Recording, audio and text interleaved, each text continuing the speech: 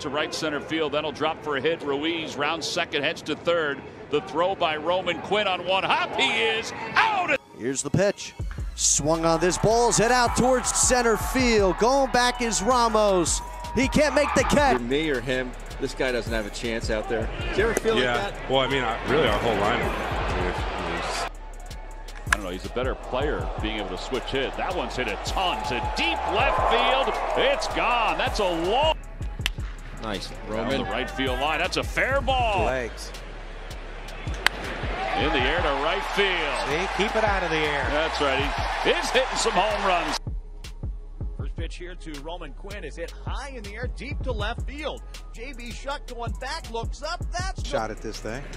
There's a liner to left field by Roman Quinn. Is it high enough? It is gone. Fly ball left center field, slicing away from Kane, and it's going to get past him and one hop the wall. In the air to right field. No need to bunt for Roman Quinn. Second deck home run. Cookie. They got the green light. That ball is back toward Frazier over his head. Kicks and fires. Swinging a high fly, crushed to deep right.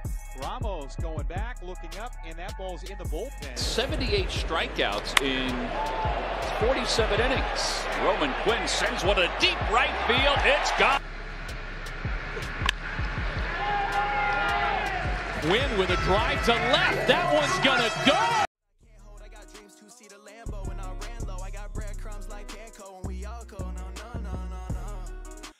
Whip, pouring. Raindrops in the morning, yeah.